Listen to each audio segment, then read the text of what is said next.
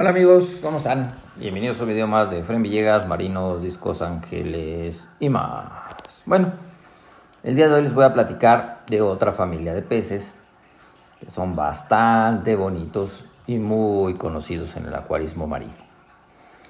Yo creo que todos saben qué pez es este. Es, vamos a hablar de la familia de las ballestas.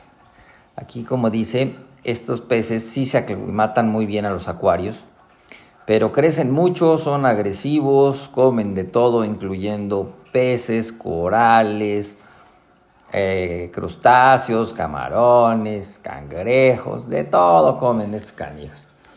Sí, se adaptan perfecto al acuario, pero pues son peces que van a comerse a todos. Entonces, muchas veces terminan siendo especies de un solo acuario o peces de un solo acuario porque pues crecen y pues los tenemos como, como así. Son, son peces muy... se acostumbran mucho al humano. Pueden ser casi, dicen que como perros, no puede ser un perro porque no vas a acariciar un pez, ¿no? Pero te ve y te sigue y te busca para que le des de comer y, te conoce. La verdad es que sí son peces que pueden llegar a hacer todo eso. Vamos a hablar primero de, de, la, de la ballesta payaso. Ya vimos unas al principio. Son animales muy coloridos, son animales que pueden llegar a medir hasta 50 centímetros, eso es muy grande, y son animales agresivos.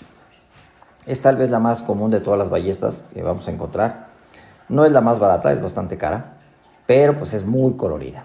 Pero sí, como dice aquí, 50 centímetros sin ningún problema, acuarios de 500 litros, con más peces grandes y agresivos, porque si no se los va a echar. Entonces, bueno, pues ahí sí, esa sería la idea, tener una de estas pero con peces más agresivos. Miren esta que agresiva es. Me ve y me quiere arrancar un dedo. Entonces, este, esta, esta costaba alrededor de 5 mil pesos, que son que 250 dólares más o menos.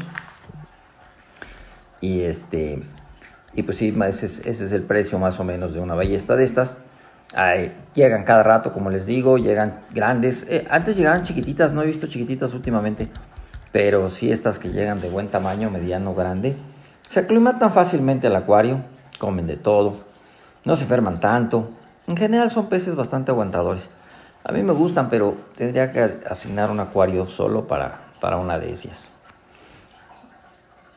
En las allá atrás hay otras ballestas que no son tan agresivas, ahorita las vamos a ver por especie, las Níger. Pero esta en especial pues quiere golpear a todo mundo.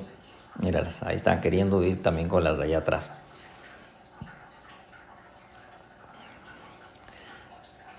Tienen dientes fuertes, se comen, como les digo, pueden comer corales. Y si no los comen, por lo menos los desacomodan, los agarran y los ponen donde ellos se les planta la gana. En un acuario de puros peces, pues podría ser, podría aguantar. Con peces un poquito agresivos, que se defiendan. Hay otra ballesta ahí. Eso es donde pudiéramos tener una ballesta payaso. Sí, son muy bonitas. Por ahí ya tengo otro video de ballestas payaso. Le voy a poner aquí el link, pero es una ballesta muy bonita. Este acuario en especial tiene muchos peces de diversos tipos. Ahí vieron una mariposa, ahí pareció un cirujano, aquí hay una ballesta, hay otro cirujano, otra ballesta. Vamos a ver otra de las ballestas bonitas, pero agresivas y muy grandes. La ballesta ondulada. Esta yo creo que es la ballesta que más me gusta a mí. Me gusta un poquito más el color verde de estas, verde con amarillo, que los de las payaso. Pero pueden crecer del mismo tamaño, 50 centímetros más o menos. Comen corales, comen crustáceos, comen moluscos, eh, comen lo que les pongas. La verdad es que son de las que... Estas también es de las más resistentes de las ballestas. Y no son tan raras que las encontremos en la venta, ¿no? En los acuarios. Y no son tan caras comparadas a la, a la payaso, sí son mucho más baratas. Estas están todas tímidas acá atrás. Pero nada más que agarren confianza, mira, tienen una negra ahí aplastada, no sé si estresada o ya, o ya se llamaba. Pero pues ahí está la ballesta ondulada. Están bien bonitas, la verdad es que sí son bien bonitas estas onduladas.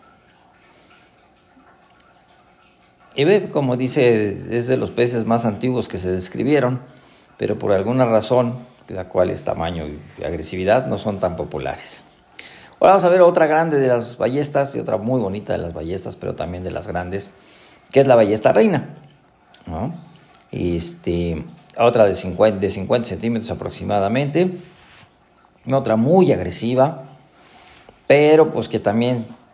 sí, se, adapta fácilmente al cautiverio. las ballestas tienen esa gran ventaja, se adaptan fácil, son peces que son capturadas, pero se llegan a adaptar con cierta facilidad y son bastante bonitas. Miren qué bonita esta. La coloración que tiene es muy, muy bonita. Esta costaba aproximadamente 100 dólares, 2 mil pesos mexicanos, 2.500, depende, depende donde la encuentres. Y esta es grande, esta estaba grandecita, unos 20, 20 centímetros. Entonces es un pez que debe estar solo. Este lo debes de comprar y de preferencia meterlo solo o en un acuario muy grande con peces grandes y agresivos. Ángeles, otras ballestas. Eh, ya vimos por ahí algunos este, eh, foxface, algunos tipos de peces grandes que puedan estar moviéndose, que no los pueda morder tan fácil. Esta acaba de llegar, en lo que se acostumbra al alimento del cautiverio, pues tardan unos días. Entonces desechaban artemia principalmente. Pero estas sí rápidamente se acostumbran y agarran lo que sea. miren, ahí está empezando a agredir. Sí, es bien agresiva. Y es bien bonita. La ballesta reina es un animal muy bonito. Les digo muy grande, pero sí es muy bonito. Aquí está la otra, la que teníamos hace rato. Miren cómo está peleándose con la damisela. Está queriéndosela comer a la damisela. Y la damisela que no se deja. Ahí viene también a agredir. ¿No?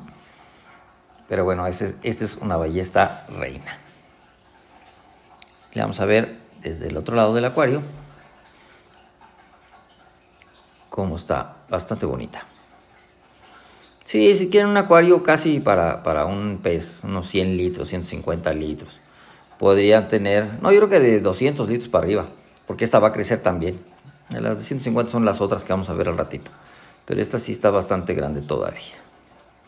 Vamos a ver ahora otra de las ballestas agresivas, aunque menos grande. Un poquito más chiquita. También es de las que tienen mal carácter. Y son bien comunes. Esta ya mide 20, 30 centímetros en, libertad, unos 25 en cautiverio. Son bastante comunes en los acuarios y es la ballesta Picasso. Estas generalmente también se adaptan súper bien al cautiverio, comen de todo. Pero pues igual, los acomodan los corales, molestan a los peces chicos, se comen los camarones, comen los erizos. Pues tienen su, su especialidad. A veces la gente confunde otras ballestas en el grupo de las Picasso. Esta la Rectangulus, es un poquito diferente el, dibujo. O esta que es la Sassy, también es diferente el dibujo. Se parecen mucho, pero, pero bueno, ya te fijas y no, no es lo mismo. O ya de estas también la, las Bursa. También es otro tipo de ballesta que la gente confunde o de repente piensan que es lo mismo que las Picasso, ¿no? No, estas son diferentes especies muy parecidas en comportamiento y en tamaño a las Picasso. Por eso las pongo aquí como todas medio juntas. Las van a conseguir en los acuarios de repente, va a llegar alguna de estas, de estas especies. Y pues bueno, son, son igual aguantadoras, bastante, no son feas, son raras, son peces raros, no son feos. Y este, se acostumbran muy bien al cautiverio. Entonces todas estas son las que a veces entran como confundidas con el grupo de las Picasso diferentes especies, mismo comportamiento. Ahora vamos a ver algunas ballestas que son más de bien comportamiento, de buen comportamiento, que pueden ser más para acuarios comunitarios, que pueden vivir hasta incluso una o dos en el mismo acuario, en acuarios grandes, porque estas siguen siendo grandes. Pero esta pudiera ser de las, obviamente, la mejor ballesta de todas. Es bastante adaptable, no crece tanto, no tiene tan mal carácter. Son bastante diferentes y llaman la atención porque tienen un color como azul verde. Tiene una forma muy rara, las veces tienen formas muy raras. Este es un ángel bicolor, pero este no lo estamos viendo en este video. A ver las ballestas, ahí están las ballestas. Ahí se están hasta peleando estas dos ballestas, pero bueno, esa es parte de, estas. Estas son, les digo, las que miren cómo organizan toda la, la arena. Sacan de ahí la arena y van y la echan para allá, pero ahí está es su territorio. Y esta pues anda ahí solita. Vean qué bonitos colores tiene. O sea, sí son colores, pues para marinos, ¿no? Y sobre todo la forma es tan rara que quiere un pez marino bastante bonito. Otra de las ballestas que son más o menos pacíficas es esta. Le llaman Melites ringens, que tiene los anillos blancos. Y bueno, pues es una ballesta que crece bastante también, más o menos 35 centímetros, pero son pacíficas, difíciles de encontrar. Y pues como todas las ballestas, con su alimentación a base de crustáceos, corales, carne, peces, de todo. Miren, está bonita esa. Otra de las que llegan seguido es la ballesta con la rosa. Otro de los monstruos de las ballestas. Esta puede llegar a medir 40 centímetros. No son tan feas. Estas aquí están, se ven, no se ven bien por, el, por la luz. Pero son bastante curiositas. Tienen la cola rosa, tienen un color verdoso. Las aletas también rosadas. Y crecen, crecen bastante. No son tan agresivas. Son de las menos agresivas de las ballestas. Pero pues casi son para otro acuario de pura ballesta. Para evitar que se agredan demasiado los otros peces. Y pues un acuario bastante grandecito para que quepan. Si no, no las van a poder acomodar. Esta es, esta es la ballesta. Belictis budae. Bidua. Bidua. Esta es esta especie. Y pues yo creo que esas serían como las ballestas principales que vamos a encontrar en el acuarismo. Saludos a todos, nos vemos en un video más de Fren Villegas, Marinos, Discos, Ángeles y más.